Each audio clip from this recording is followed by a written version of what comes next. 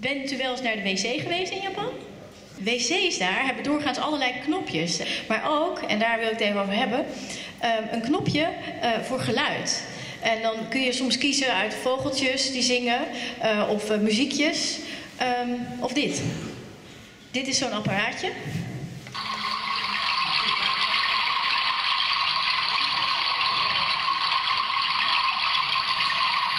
En u denkt nu, waar is dit voor? Ik zet het even weg, want het duurt heel lang. Dit is ervoor bedoeld dat Japanse mensen willen niet dat iemand in de wc daarnaast kan horen wat je doet. Privacy graag.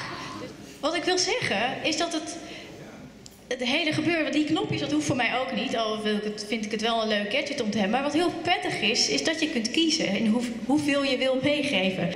Google Glass, dat weten we nog. Daar waren jullie waarschijnlijk allemaal heel erg op tegen. Maar ik had dus een vriendin, die had dat ook. En uh, echt een super nerd eh, vriendin in New York. En zij kwam bij mij logeren en had haar Google Glass meegenomen en ik mocht hem een weekje lenen. En ik vond dat dus super cool.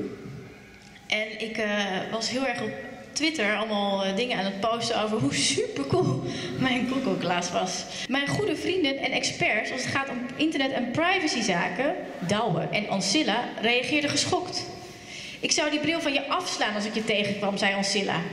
En beide volgden een betoog over de consequenties van de Google Glass, die over circa drie jaar wijd verspreid zal zijn in ons kikkerlandje. Als je iemand straks aankijkt terwijl je die bril op hebt, herkent hij het gezicht en rollen alle online beschikbare gegevens over je scherm. Instantly. Niemand zal nog anoniem zijn. Nooit. Face recognition heet dat. En alles wordt opgeslagen. Ja, ook de kroeg als er te veel gedronken wordt. Stel, die Google zou er inderdaad zijn en iemand zou meteen kunnen zien de, de bovenste resultaten in Google, dan komt er hier dus zo'n wolkje boven mijn hoofd. Dit is dat wijf die de kat heeft vermoord.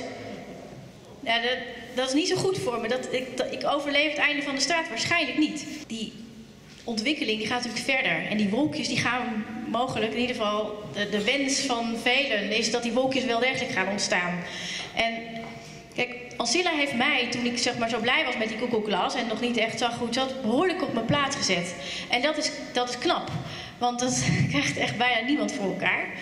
En um, ja, daarom ben ik eigenlijk heel blij en, en uh, dat, dat juist Ancilla hier uh, lijsttrekker is geworden. Want als iemand mij op mijn plek kan zetten en drieënhalf jaar later, dan vind ik dat nog steeds een goed idee en heeft nog steeds gelijk, dan is dat waarschijnlijk iemand die hier op de hele goede plek zit. En um, ik ga misschien wel voor het eerst Piratenpartij stemmen.